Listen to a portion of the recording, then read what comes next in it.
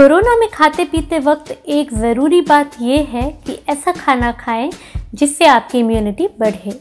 मतलब आपके शरीर में रोगों से लड़ने की क्षमता को बढ़ाना। इम्यूनिटी का यही मतलब होता है। आप सभी ऐसे हेल्दी खाने सूप सब्ज़ियाँ, अंडे वगैरह खा सकते हैं, जिससे आपको ताकत मिले। मैंने आपसे पहले एक्सपीरियंस शेयर किया था कि मुझे जब पेस फीवर और कोरोना के सिम्टम्स आए थे, तब मैं केवल इसी टाइप का खाना खाती थी। और अगर मन होता था तो रोटी या चावल भी खा लेती थी एक समय में। पर डिनर में मोस्टली एक हफ़्ते तक मैंने केवल हेल्दी सब्जियों का सूप ही पिया। उसमें बहुत सारा अदरक और लहसुन डाल के। और काली मिर्च भी आप उसमें डाल सकते हैं। उससे मुझे रिकवर होने में बहुत फ़ायदा मिला। वेलनेस मंत्रा बाय गुंचन में आप सबका स्वागत है। सबसे पहली रेसिपी है vegetable lentil soup red split lentil मतलब कि लाल टूटी हुई मसूर दाल के 30 ग्राम में 10 ग्राम प्रोटीन होता है। अब ये तो आपको याद ही होगा, जैसा कि मैंने पहले भी बताया था। हम सबको अपने प्रति किलोग्राम वज़न के लिए हर दिन लगभग करीब 0.8 ग्राम प्रोटीन की ज़रूरत होती है। मतलब अगर आप 60 किलोग्राम के हैं तो आपको कम से कम एक दिन में 48 ग्राम प्रोटीन खा लेनी चाहिए,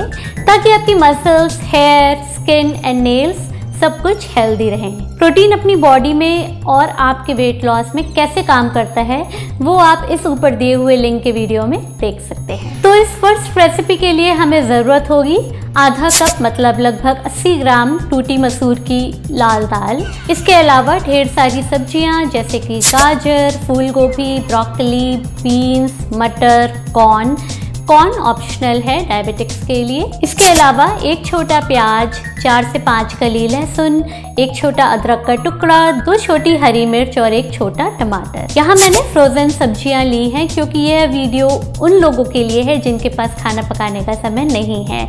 अगर आपके पास टाइम है तो फ्रेशली कट सब्ज़ियाँ आप डेफिनेटली यूज़ कर सकते हैं। ये सूप दो लोगों के, दो मील्स के लिए काफ़ी होगा। बस अब दाल अच्छे से धो के उबलने चढ़ा दीजिए। इसमें सारी सब्ज़ियाँ डाल दीजिए। ज़रूरी नहीं कि आप सारी सब्जियों के छोटे छोटे टुकड़े करें, क्योंकि सूप में अपने आप सारी सब्ज़ियाँ बाद में मैश हो जाएँगी। एक उबाल आने पर इसमें बारीक कटा हुआ प्याज, लहसुन, मिर्ची, अदरक और टमाटर सब कुछ डालकर करीब 10 मिनट धीमे आँच पर पकने दीजिए। थोड़ा सा नमक और थोड़ी पिसी काली मिर्च पूरा पकने पर डाल सकते हैं। इस डिश की खासियत ये है कि इसमें जो दाल धीमी आँच पर सब्जियों के साथ पकती है तो एक बहुत अच्छा सौंधापन आ जाता है, जिससे दिल खुश हो जाता है।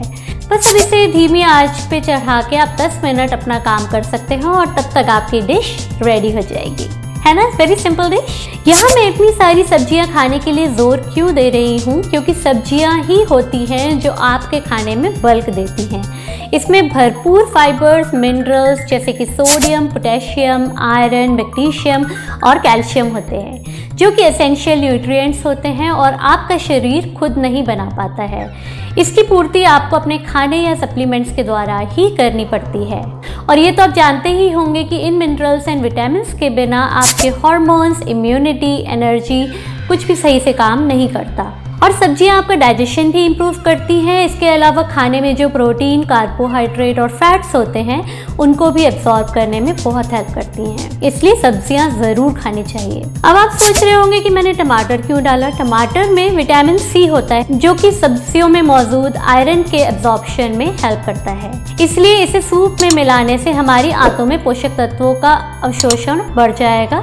इसके अलावा इंटरनेशनल हेल्थ गाइडलाइन के अनुसार आपकी प्लेट में 50 परसेंट सब्ज़ियाँ होनी चाहिए। इसलिए सब्ज़ियाँ खाने का ये आपके लिए एक बेहतरीन ऑप्शन हो सकता है।